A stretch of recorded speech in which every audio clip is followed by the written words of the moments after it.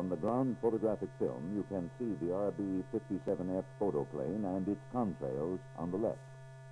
On the right is the contrail produced by the U-2 chase aircraft. The U-2 is barely visible. In the center screen, leaving no contrail, is the white 147G aircraft.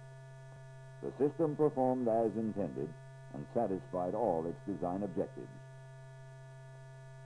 By a series of efforts, a contrail suppression system has been developed for the Model 147G special purpose aircraft.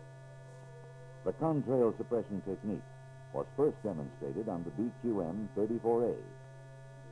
Then, utilizing a manned test aircraft, the technique was optimized for operation above 58,000 feet at conditions simulating the actual operating environment.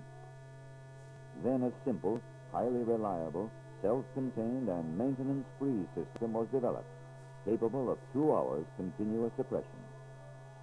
The use of this contrail suppression system on the Model 147G aircraft can greatly increase its survivability.